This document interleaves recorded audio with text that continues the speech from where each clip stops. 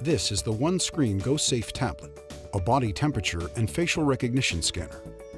Every business is struggling to find the best way to put their customers and their employees at ease as they reopen to the public. And these devices are intended to make that happen.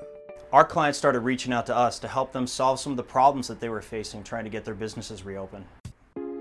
Our department primarily has technology that helps in the augmentation of workforce and also making sure that things are done much more smartly. Sanjeet Pandit is the head of smart cities for Qualcomm, who created the microchip technology inside the GoSafe device. This particular product is directly interfaced with making sure that people come back safely to work.